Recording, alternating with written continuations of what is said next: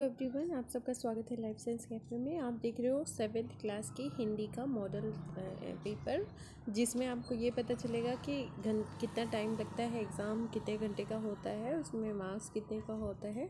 चलिए शुरू करते हैं। देखिए, सभी क्वेश्चन जो है अनिवार्य है मतलब ज़रूरी है सारे क्वेश्चन तीन घंटे का पेपर है।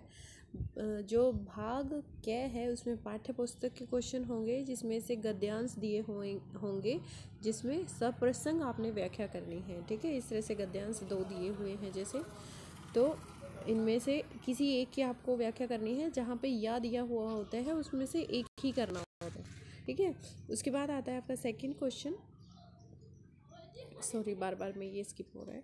निम्नलिखित प्रश्नों के उत्तर कविताओं के आधार पर लिखें, ठीक है? जो आपके पाठ्य पुस्तक में कविताएँ दी हुई हैं, उनके आधार पर दो क्वेश्चन जैसे आँख में तिनका पढ़ने के बाद घमंडी की क्या दशा हुई? दूसरा क्वेश्चन है, मीरा को सावन मन भावन क्यों लगने लगा?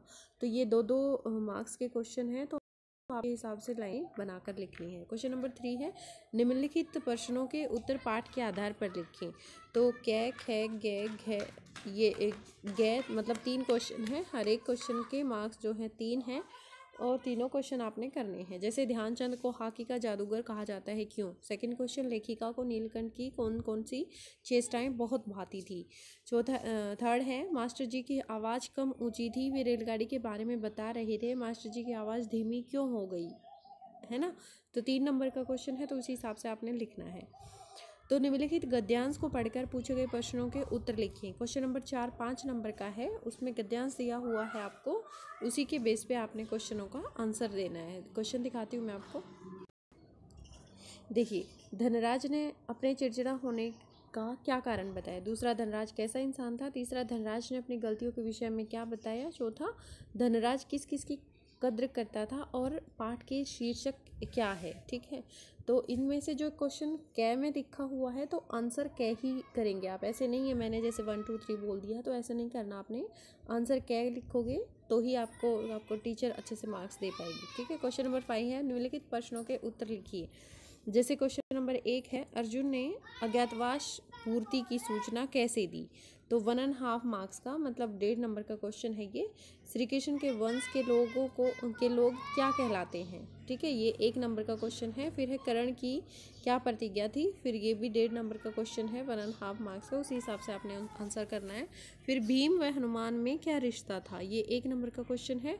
फिर भूमि से भारी चीज़ क्या होती है? ये भी एक नंबर का क्वेश्चन है। फिर व्याकरण शुरू हो जाती है क्वेश्चन नंबर छः पे देखिए।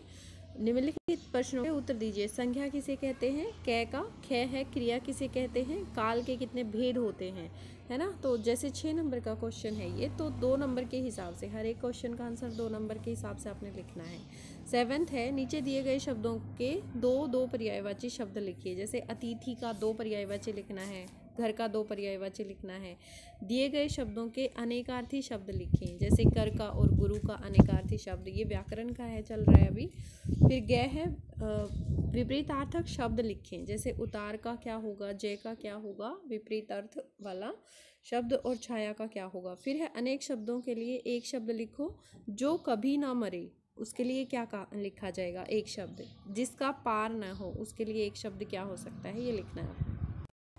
फिर आता है लिंग बदलिए। महोदय का लिंग बदलकर क्या लिखेंगे और पुरुष का क्या लिखेंगे? फिर कोष्टक में दिए गए शब्दों की सहायता से खाली स्थान आपने भरना है। कै खे गे, घे, रे, चे। हर एक क्वेश्चन में कै खे गे लिखा हुआ है तो आप एक हेडिंग डाल के उसमें लिखना है। क्वेश्चन नंबर एट और फिर आंसर कै ठीक है? इस तरह से लिखोगे तो अच्छे से मार्क्स मिलेंगे आपको। फिर है शादी के दिनों में डैश की मांग बढ़ती जाती है। किसकी मांग बढ़ती जाती है? घोड़ी या घोड़ियाँ तो सही ऑप्शन आपने चूज़ करना है। सारे डैश खेल रहे हैं, है ना? आज डैश को मान्यता की, मानवता की फ़िक्र नहीं है। किसी को या कोई को क्या सही रहेगा यहाँ पे ये भरना है। जैसे डैश माँ मुझे बहुत प्यार करती है। मेरी माँ या हमारी माँ आएगा यहाँ पे। एक लिखना है अपने। समारोह में कवि और डैश आए थे। कवि और कविता आई थी या कवियत्री आई थी ये बताना है। मुझे डैश की बात याद आती है। मुझे बचपन की या बालक काल की क्या लिखोगे? सही जो आंसर है वो लिखना है आपने।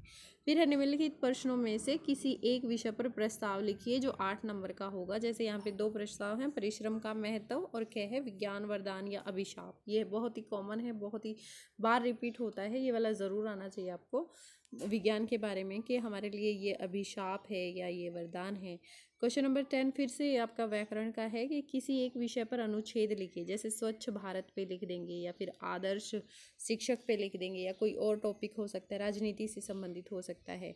फिर पत्र लिखना आ सकता है आपको छः नंबर का, ज़्यादा का भी कर सकते हैं डिपेंड करता है कि क्वेश्चन आंसर किस प्रधानाचार्य को पत्र लिखकर फ़ीस माफ़ी के लिए आवेदन कर सकते हैं। आप पुलिस थाने में के अध्यक्ष को चोरी की रिपोर्ट लिखकर दीजिए, ठीक है? तो इस तरह से पत्र लिखना भी आपको आना चाहिए।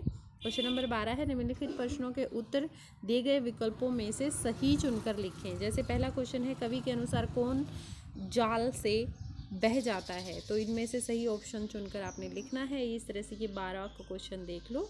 यहाँ पे मैं एक मिनट के लिए वीडियो को रोक देती हूँ। उसके बाद इसका जो बचा हुआ हिस्सा है, क्योंकि ये पंद्रह क्वेश्चन है, देख लो, हर एक क्वेश्चन का एक मार्क्स है, क्योंकि आपने इन्हीं में से टिक करना है। एक, जैसे लेखक ने कंचों की तुलना किससे की थी? ठीक है, कै लड्डू से खे बेर से गै जामुन से घे आंवले से। तो किससे की थी ये बताना है? तो क्योंकि वो पंद्रह नंबर का पेपर क्वेश्चन है, बारह का। तो इसमें सिक्स क्वेश्चन है, जैसे आँख में तिनका पढ़ने पर कवि की क्या दशा हो गई थी ये बताना है। तो इन्हीं में से एक ऑप्शन लिखने पे ही आपको एक नंबर मिल जाएगा। और ज़्यादा कुछ इसमें परेशान होने की ज़रूरत नहीं है, क्योंकि ये आपकी बुक से ही लिया गया है सब। जैसे फिफ्टींथ वाला क्वेश्चन है, धनराज पिल्ले किस राज्य के रहने वाले थे? तो हरियाणा के या पंजाब के या मध्य प्रदेश के, महाराष्ट्र के, सिर्फ़ एक ऑप्शन चूज़ करने पे ही आपको अच्छे मार्क्स मिल जाएँगे। ये हमारा हिंदी का पेपर था। अगर और भी कोई आपकी क्यूरीज हैं क्वेश्चन हैं, आपकी रिक्वायरमेंट है तो उसी के हिसाब से कमेंट बॉक्स में जाकर ज़रूर बताना। Thank you for watching life science cafe